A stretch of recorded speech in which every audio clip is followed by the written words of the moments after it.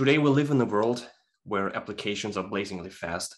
Maybe you know that when you are a customer of a modern mobile bank and you're just standing at the checkout of a supermarket, you just hold your card and you even receive the push notification before you re uh, receive the receipt. Or you can just stand on the, um, um, when you're waiting for the bus, you can see what your friends are doing on social network. You can check uh, how your favorite sports team is doing also with, within a few seconds. And in such a world, slow applications have really, really trouble because people, uh, our users already take fast applications most often granted. And if your application is slow, it can really frustrate your users. That can lead to bad reviews and the competition is just a few taps away. What can we as mobile developers do to avoid such a bad customer experience? First of all, uh, we can be very aware while we're developing. We can catch the most obvious performance issues when we're developing our code. The next level is we can write uh, automated performance tests to make sure certain regions of our code are running smoothly and fast. We can also run them in CI to make sure uh, to avoid regressions in the future.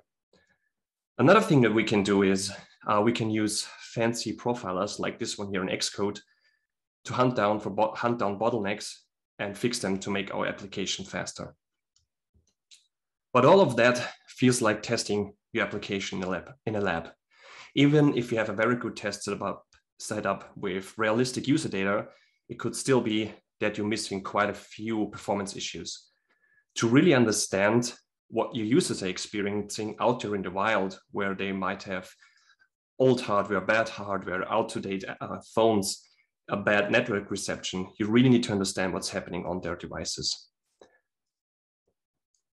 Maybe some of you know this discussion as RUM versus synthetic, especially where developers might be familiar with the term. And what does it mean? It's real user monitoring, what I just explained, exploring what's happening on your user's devices versus testing uh, with all the methods I just explained. And both of them kind of make sense because if I only would monitor what's happening on my user's devices, um, I would only know that there's a performance problem when I already released the app, after I released my app. So kind of both make sense, but real user monitoring is also very, very important. And here's where Sentry comes into play, Sentry performance monitoring.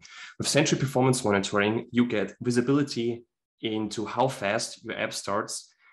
Uh, you get visibility in how fast your views are loading, um, the duration of your HTTP request, number of frozen and slow frames and more. You get all of that with not much setup in real time. Just a quick reminder, uh, Sentry is not only about performance monitoring, we also have error monitoring, release health, discover, and plenty of integrations that you can use. But today we focus on performance monitoring.